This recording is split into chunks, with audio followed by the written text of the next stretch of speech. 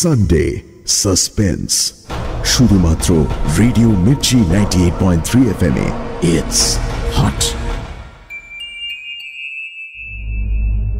Satyajit রায়ের লেখা রোমাঞ্চকর কিছু গল্প দিয়ে সাজানো আমাদের এই বিশেষ নিবেদন। সানডে সাসপেন্স আজকের গল্প, বাতিক বাবু। গল্প পাঠে দ্বীপ গল্পটি প্রথম প্রকাশিত হয় শারদীয়া সন্দেশ তেরোশো উনআশি সালে, অর্থাৎ উনিশশো বাহাত্তরে। প্রধান চরিত্রে doctor Bhowmik, mister Khastagir, mister Naskar, লেখক এবং বাতিক বাবু শুরু হচ্ছে বাতিক বাবু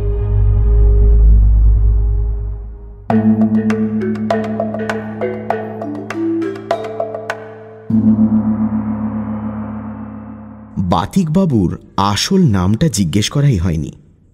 পদবী মুখার্জি। চেহারা একবার দেখলে ভোলা কঠিন। প্রায় ছ ফুট লম্বা। শরীরে চর্বির লেশমাত্র নেই। পিঠটা ধনুকের মতো বাঁকা।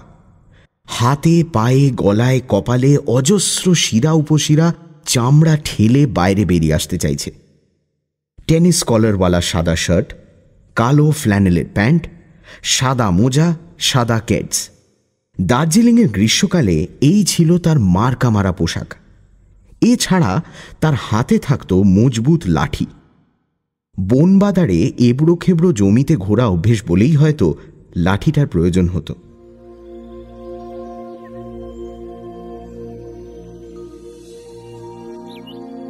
আমার সঙ্গে বাতিকবাবুর আলাপ দশ বছর আগে।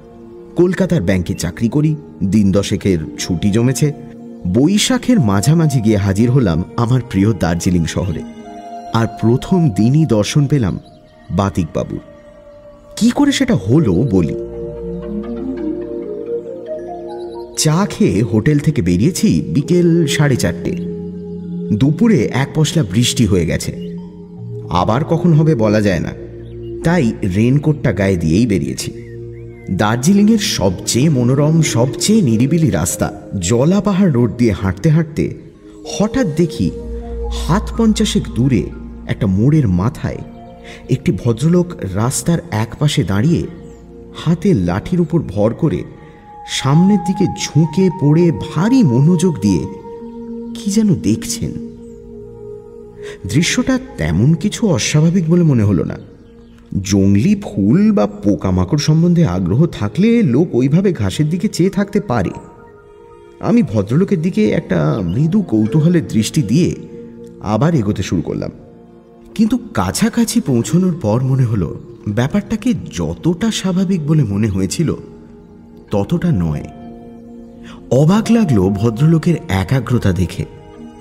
আমি পাঁচ হাত দূরে দাঁড়িয়ে তার হাবভাব লক্ষ্য করছি, অথচ উনি আমাকে সম্পূর্ণ অগ্রাহ্য করে সেই একইভাবে সামনে ঝুঁকে ঘাসের দিকে চেয়ে আছেন। শেষটায় বাঙালি বুঝে একটা প্রশ্ন না করে পারলাম না। কিছু হারালেন নাকি? কোনো উত্তর নেই। লোকটা কি কালা? আমার কৌতূহল বাড়ল। ঘটনার শেষ না দেখে যাব না। একটা সিগারেট ধরালাম। মিনিট তিনেক পরে ভদ্রলোকের অনর দেহে যেন প্রাণ সঞ্চার হল। তিনি আরও খানিকটা ঝুঁকে পড়ে তার ডান হাতটা ঘাসের দিকে বাড়ালেন। ঘন ঘাসের ভিতর তার হাতের আঙুলগুলো প্রবেশ করল। তারপর হাতটা উঠে এলো।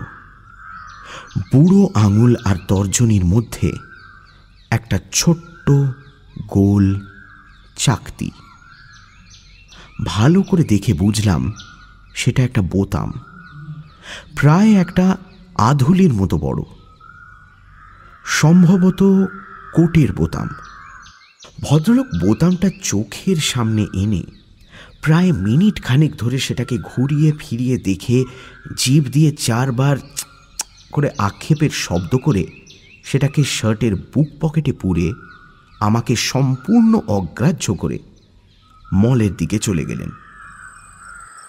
সন্ধেবেলা ফেরার পথে মলের মুখে ফোয়ারার ধারে দার্জিলিংয়ের পুরনো বাসিন্দা ডক্টর ভৌমিকের সঙ্গে দেখা হলো। ইনি কলেজে বাবার সহপাঠী ছিলেন। আমাকে যথেষ্ট স্নেহ করেন। তাকে আজ বিকেলের ঘটনাটা না বলে পারলাম না। ভৌমিক শুনে টুনে বললেন চেহারা আর হাবভাবের বর্ণনা থেকে তো বাতিকবাবু বলে মনে হচ্ছে। বাতিকবাবু? Sad case. আসল নাম ঠিক মনে নেই। পদবী মুখার্জি। বছর পাঁচেক হলো দার্জিলিংয়ে রয়েছে। গ্রিনগ্লেস ব্যাংকের কাছেই একটা বাড়িতে ঘর ভাড়া নিয়ে থাকে। কটকের র্যাভেনশ কলেজে ফিজিক্স পড়াতো। জার্মান বিশ্ববিদ্যালয়ের ডিগ্রি আছে। শুনেছি ব্রিলিয়েন্ট ছাত্র ছিল।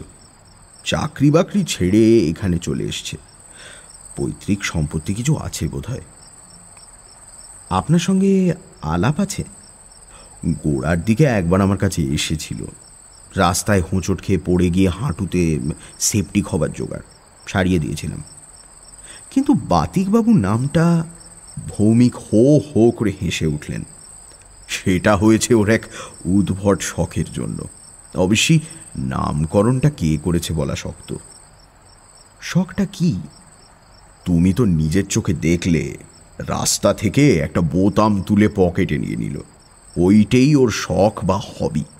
যেখান সেখান থেকে জিনিস তুলে নিয়ে এসে সযত্নে রেখে দেয়। যে কোনো জিনিস। কেন জানি না, আমার লোকটা সম্বন্ধে কৌতূহল বাড়ছিল। ডক্টর ভৌমিক বললেন আমরা বলব যে কোনো জিনিস, কিন্তু ভদ্রলোক ক্লেম করবেন সেগুলো অত্যন্ত প্রেশাস কারণ সেসব জিনিসের সঙ্গে নাকি এক একটা ঘটনা জড়িয়ে আছে। কিন্তু সেটা উনি জানেন কি করে? ডক্টর ভৌমিক তার হাত ঘড়িটা একবার দেখে নিয়ে বললেন, সেটা তুমি ওকেই জিজ্ঞেস করে দেখো না। উনি ভিজিটার পেলে খুশি হন, কারণ ওর গপ্পের স্টক প্রচুর। ওর কালেকশনের প্রত্যেকটি জিনিসকে নিয়ে এক একটি গপ্প তো। ওয়াইল্ড ননসেন্স বলাই বাহুল্য। তবে উনি সেগুলো বলতে পারলে খুশি হন। অবশ্যই তুমি শুনে খুশি হবে কিনা সেটা আলাদা কথা। পরদিন সকালে ব্রেকফাস্ট খেয়ে বেরিয়ে পড়লাম।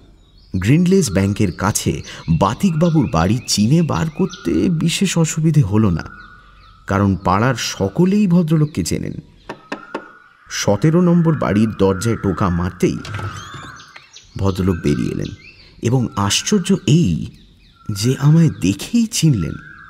কাল আপনি আমাকে একটা কথা জিজ্ঞেস করলেন, কিন্তু আমার তখন উত্তর দেবার অবস্থা ছিল না। ওই সময়টা কনসেন্ট্রেশন নষ্ট হতে দিলেই সর্বনাশ। ভেতরে আসুন। ঘরে ঢুকেই প্রথমে চোখে পড়ল আলমারি। বাঁদিকের দেয়ালের অর্ধেকটা অংশ জুড়ে একটা কাঁচে ঢাকা আলমারির প্রতিটি তাকে পাশাপাশি রাখা অতি সাধারণ সব জিনিস, যেগুলোর একটার সঙ্গে আরেকটার কোনো সম্পর্ক নেই। একবার চোখ বুলিয়ে একটা শেলফে পাশাপাশি চোখে পড়ল একটা গাছের শেকড়, একটা মরচে ধরা তালা, একটা আদ্যিকালের গোল্ড ফ্লেকের টিন একটা উল বোনার কাঁটা, একটা জুতোর বুরুশ, একটা টর্চ লাইটের ব্যাটারি। আমি অবাক হয়ে এইসব দেখছি। এমন সময় ভদ্রলোক বললেন, ওগুলো দেখে আপনি বিশেষ আনন্দ পাবেন না, কারণ ওসব জিনিসের মূল্য কেবল আমি জানি। আমি বললাম, শুনেছি এসব জিনিসের সঙ্গে নাকি এক একটা বিশেষ ঘটনার সম্পর্ক আছে? আছে বই কি? কিন্তু সেরকম তো সব জিনিসের সঙ্গেই থাকে। যেমন আপনি যে ঘড়িটা হাতে পড়েছেন। ভদ্রলোক হাত তুলে আমার কথা বন্ধ করে দিয়ে বললেন, ঘটনা জড়িয়ে থাকে অবশ্যই, কিন্তু সব জিনিসের উপর সে ঘটনার ছাপ থেকে যায় না।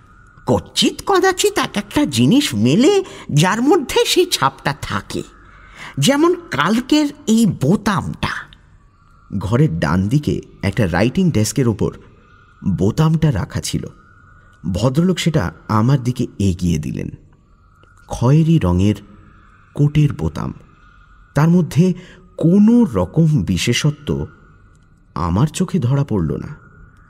কিছু বুঝতে পারছেন?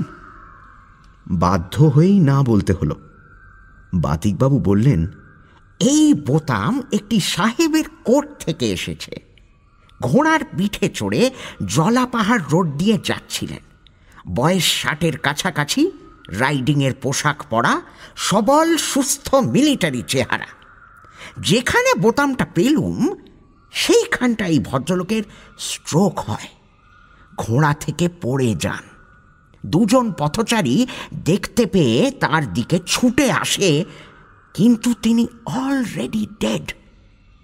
ঘোড়া থেকে পড়ার সময় বোতামটা কোট থেকে ছিঁড়ে রাস্তার ধারে পড়ে যায়। এসব কি আপনি দেখতে পান?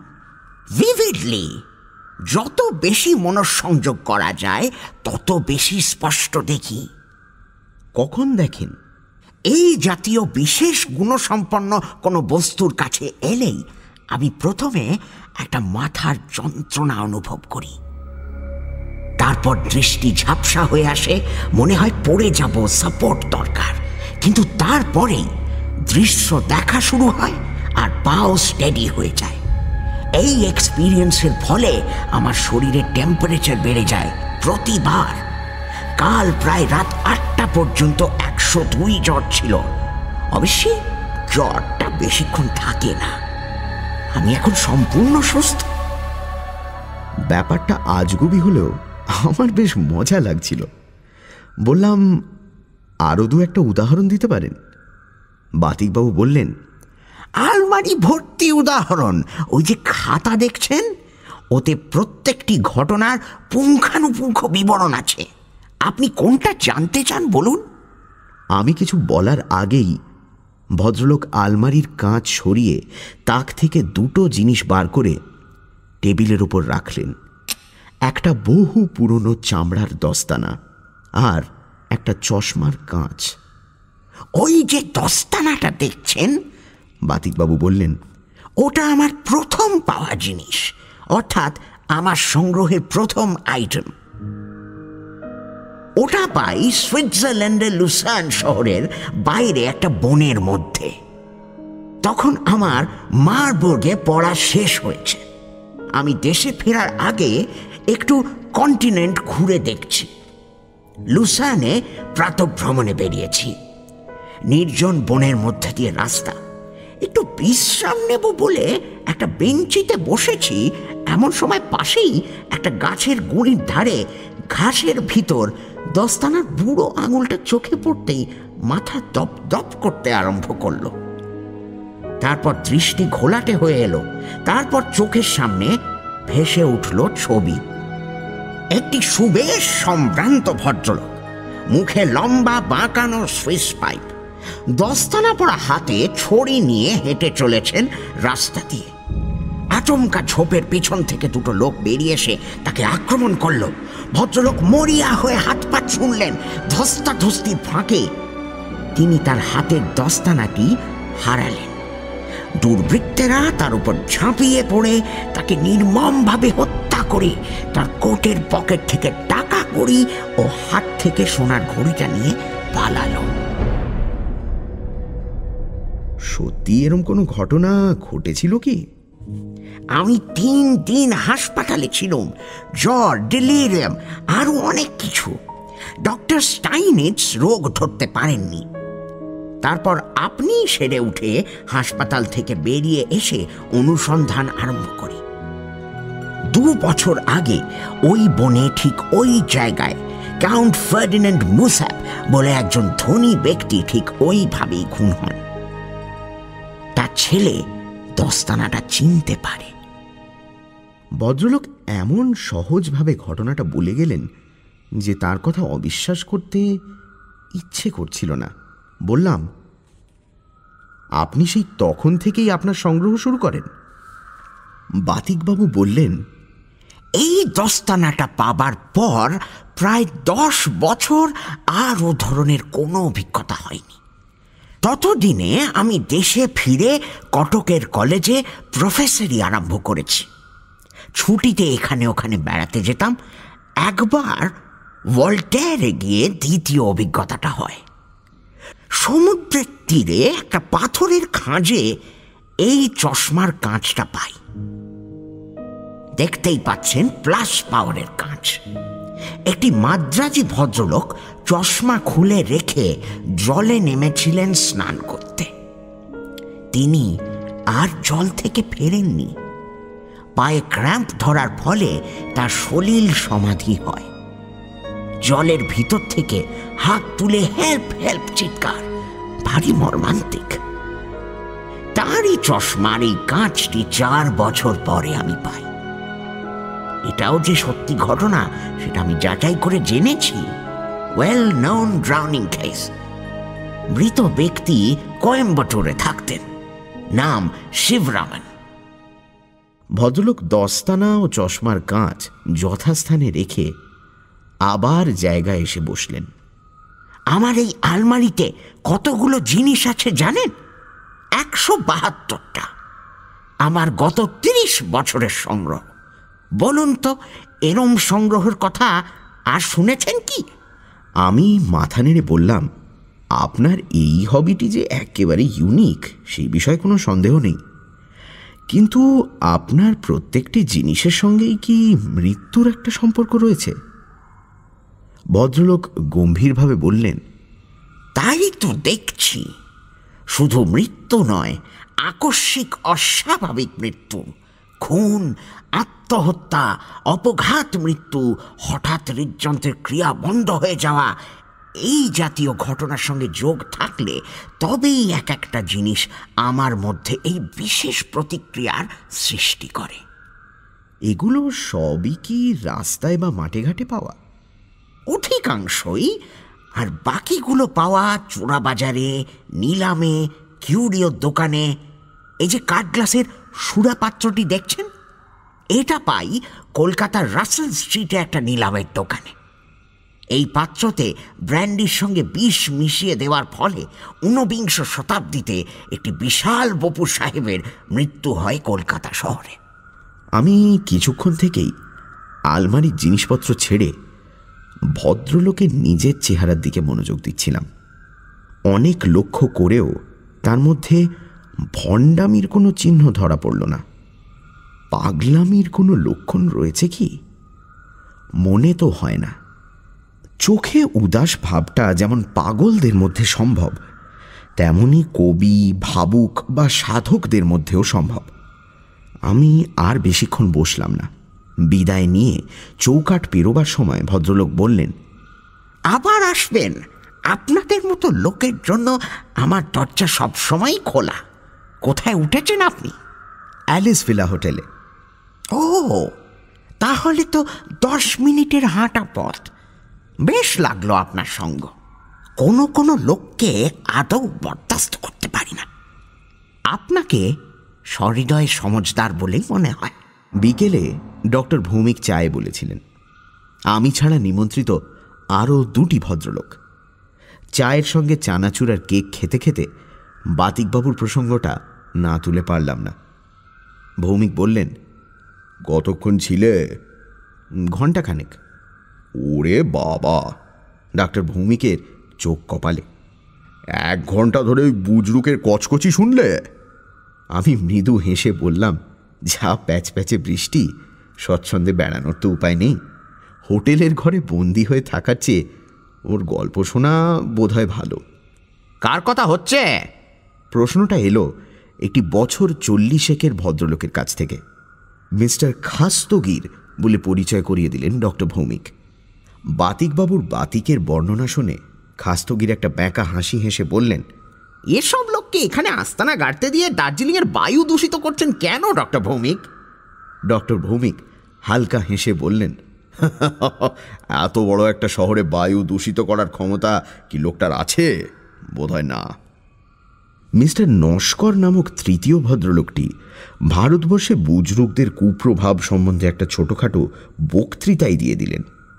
শেষকালে আমি বলতে বাধ্য হলাম যে বাতিকবাবু যেহেতু নেহাতি নিঃসঙ্গ জীবনযাপন করেন, তার বুজরুকির প্রভাব আর পাঁচজনের ওপর পড়ার সম্ভাবনা খুবই কম।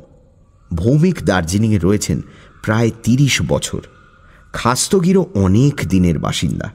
শেষ পর্যন্ত এদের দুজনকে উদ্দেশ্য করে একটা প্রশ্ন না করে পারলাম না।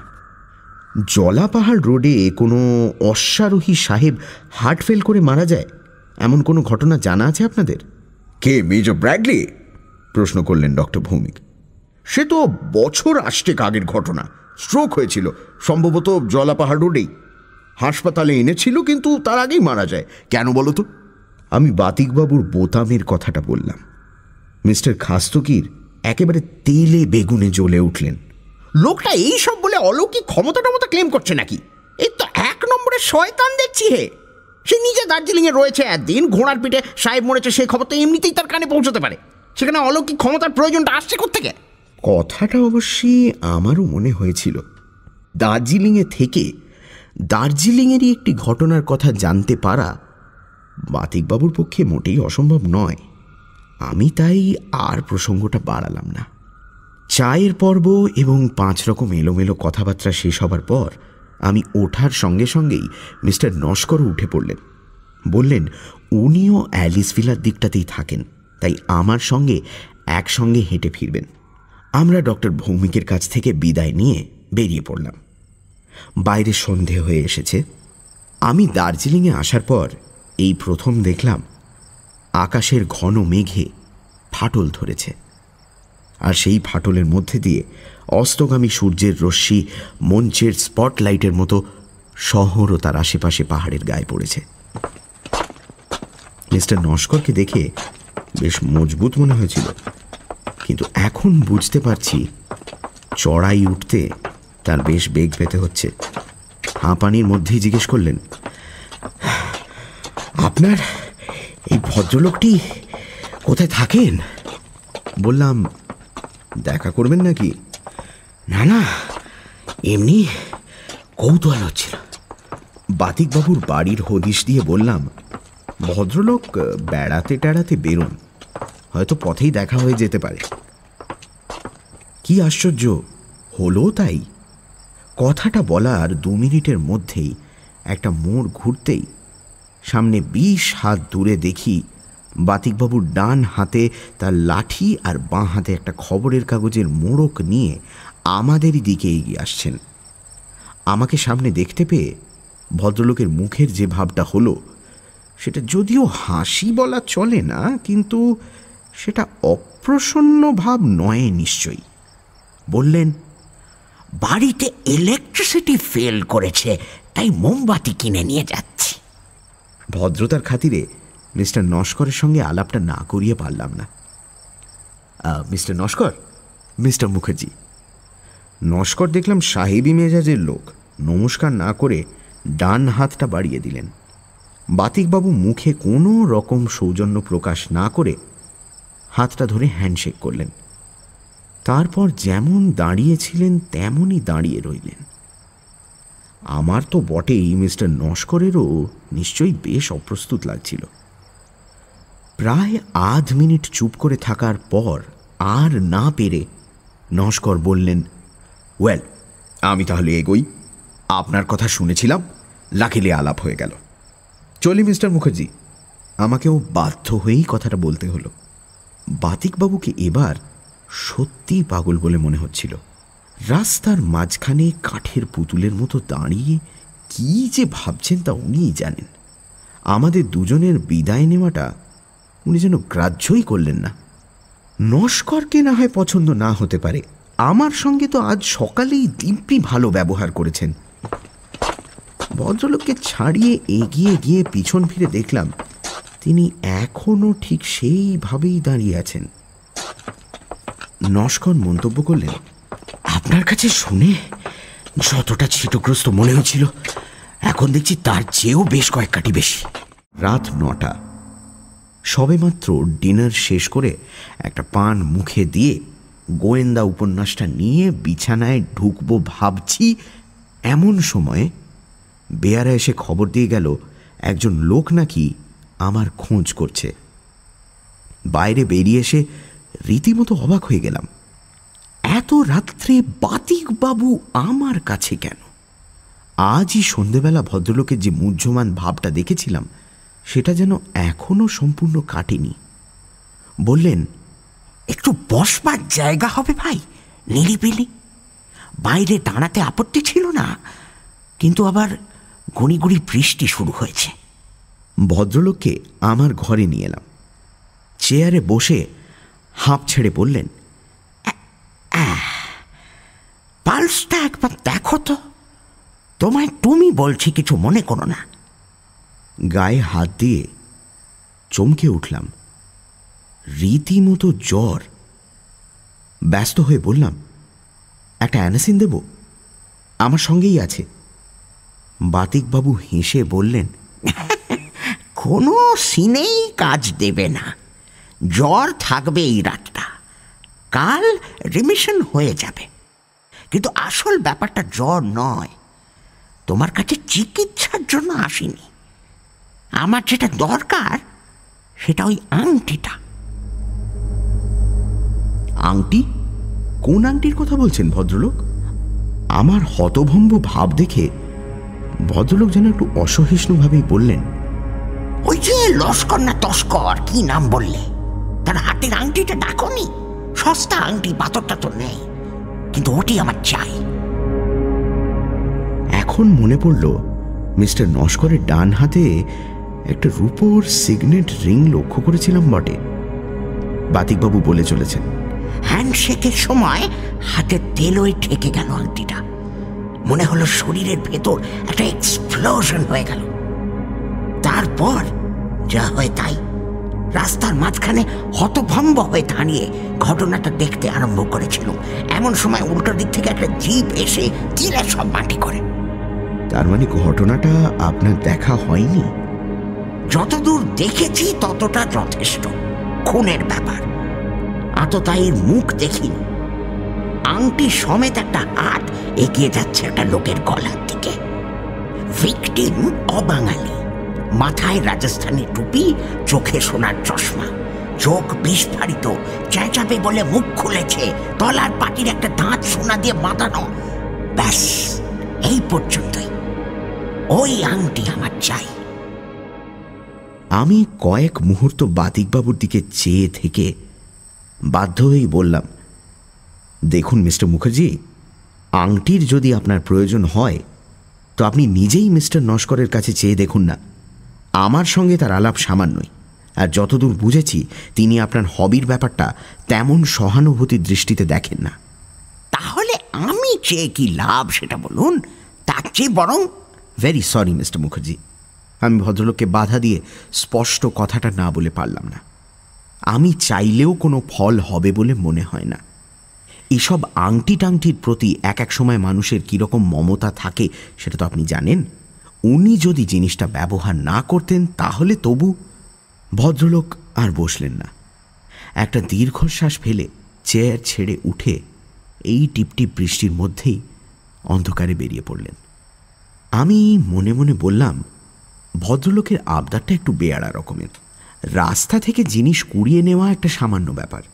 কিন্তু লোকের ব্যক্তিগত ব্যবহারের জিনিস নিয়ে তার কালেকশন বাড়ানোর প্রয়াসটা অন্যায় প্রয়াস। এই ব্যাপারে কেউই তাকে সাহায্য করতো না। আমি বা করি কি করে? আর নস্কর এমনিতেই বেশ কাঠখোট্টা লোক। তার কাছে চেয়ে ওই আংটি পাবার আশা করাটাই ভুল।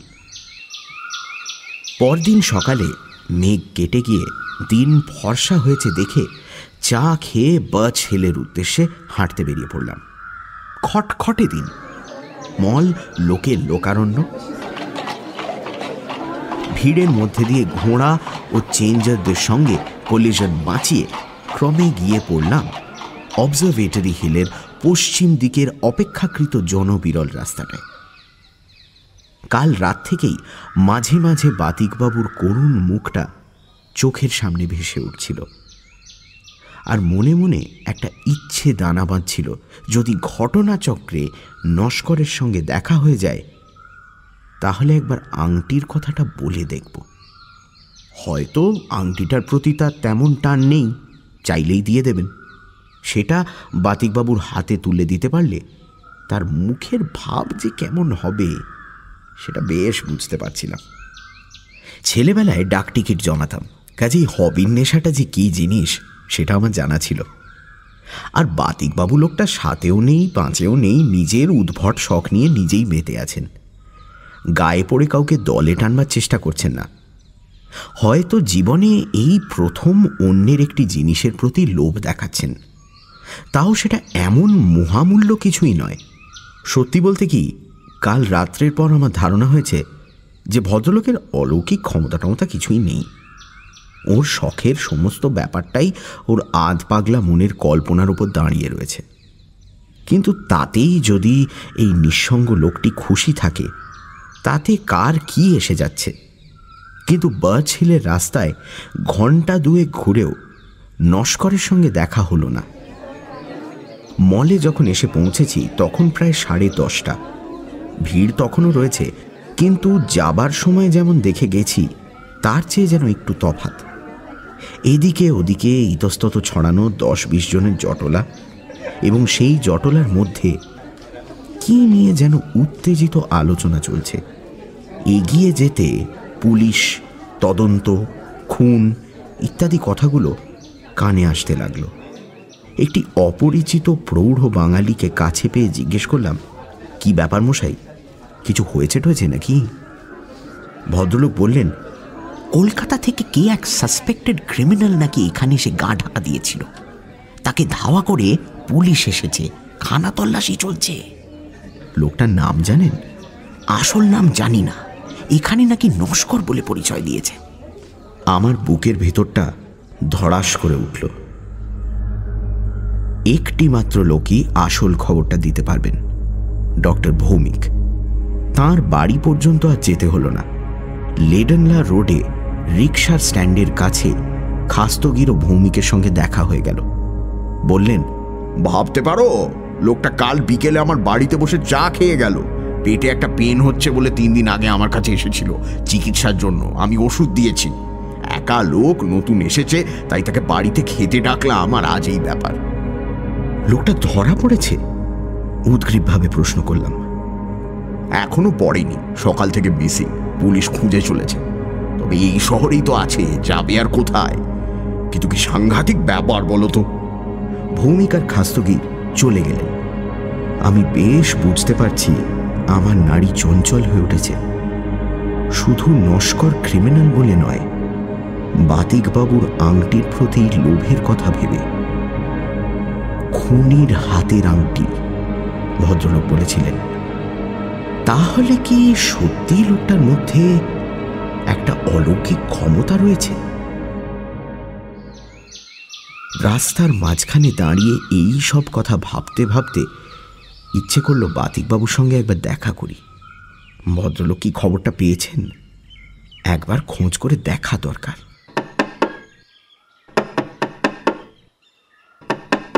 কিন্তু সতেরো নম্বর বাড়ির দরজায় বার তিনেক টোকা দিয়েও কোনো উত্তর পেলাম না। এদিকে আবার মেঘ করে এসেছে। আমি দ্রুত পা চালিয়ে আমার হোটেলে চলে এলাম। আধ ঘণ্টার মধ্যেই মুষলধারে বৃষ্টি নামল। ঝলমলে সকালটা এক নিমেষে একটা সুদূর অতীতের ঘটনায় পরিণত হলো। পুলিশ সার্চ চালিয়ে চলেছে। কোথায় গা ঢাকা দিলেন মিস্টার নস্কর? কাকে খুন করলেন ভদ্রলোক? কীভাবে খুন? সাড়ে তিনটের সময় আমাদের হোটেলের ম্যানেজার, মিস্টার সন্ধি, খবরটা আনলেন। নস্কর যে বাড়িটায় ছিল, তার ঠিক পিছনেই পাহাড়ের খাদে তিরিশ হাত নিচে মাথা থ্যাতলানো অবস্থায় নস্করের মৃতদেহ পাওয়া গেছে। আত্মহত্যা, মস্তিষ্ক বিকৃতি, পালাতে গিয়ে পাহড়কে পড়ে যাওয়া ইত্যাদি নানা রকম কারণ অনুমান করা হচ্ছে। ব্যবসাগত ব্যাপারে পার্টনারের সঙ্গে শত্রুতা। সেই থেকে খুন, মৃতদেহ লুকিয়ে ফেলে দার্জিলিং এসে গা ঢাকা, পুলিশ কর্তৃক কলকাতায় মৃতদেহের আবিষ্কার ইত্যাদি। না, বাতিকবাবুর সঙ্গে একবার দেখা না করলেই নয়। লোকটাকে আর হেসে উড়িয়ে দেওয়া চলে না। সুইজারল্যান্ড ওয়াল্টেয়ারের ঘটনা মন গড়া হতে পারে। দার্জিলিংয়ের ঘটনা তিনি আগে থেকে জেনে থাকতে পারেন। কিন্তু নস্কর যে খুনি, সেটা তিনি জানলেন কি করে?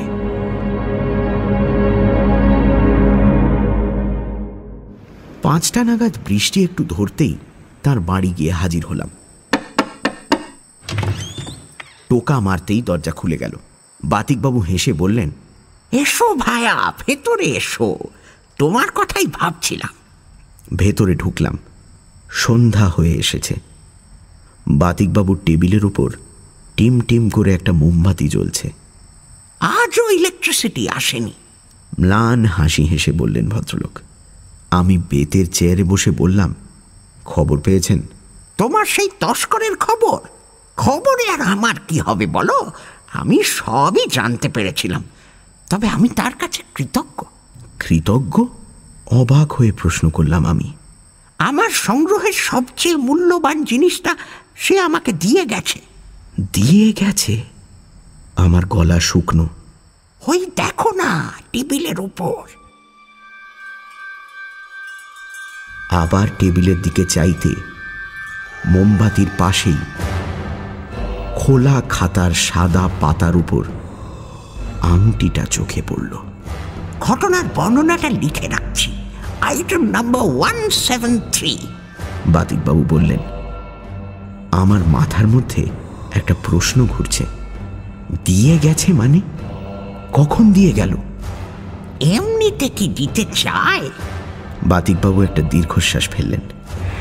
হ্যাঁ জোর করে নিতে হলো। আমি স্তব্ধ হয়ে বসে আছি। ঘরের ভেতর একটা টাইম পিস টিক টিক করে বেজে চলেছে। তুমি এসে ভালোই হলো।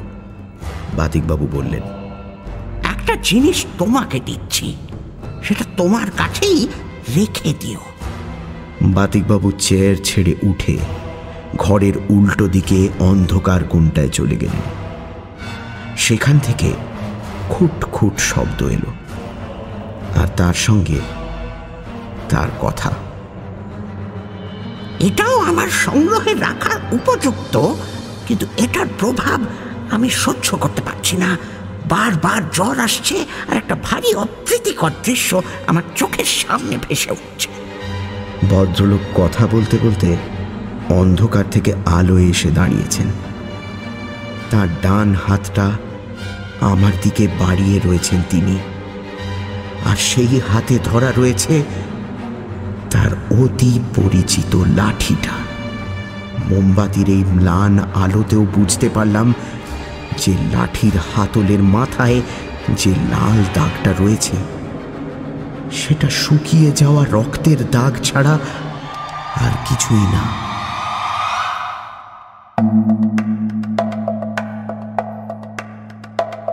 শুনছিলেন বাতিক বাবু, রচনা সত্যজিৎ রায়, গল্প পাঠে দীপ, শব্দগ্রহণ, আবহ সংগীত এবং স্পেশাল এফেক্টসে রিচার্ড, পরিকল্পনা ও পরিচালনায় ইন্দ্রাণী। রেডিও মির্চির তরফ থেকে আন্তরিক ধন্যবাদ শ্রী সন্দীপ রায়কে আমাদের পাশে থাকার জন্য। আগামী সপ্তাহে ঠিক এই সময় আরও একটি রোমাঞ্চকর গল্প নিয়ে হাজির হবে সানডে সাসপেন্স।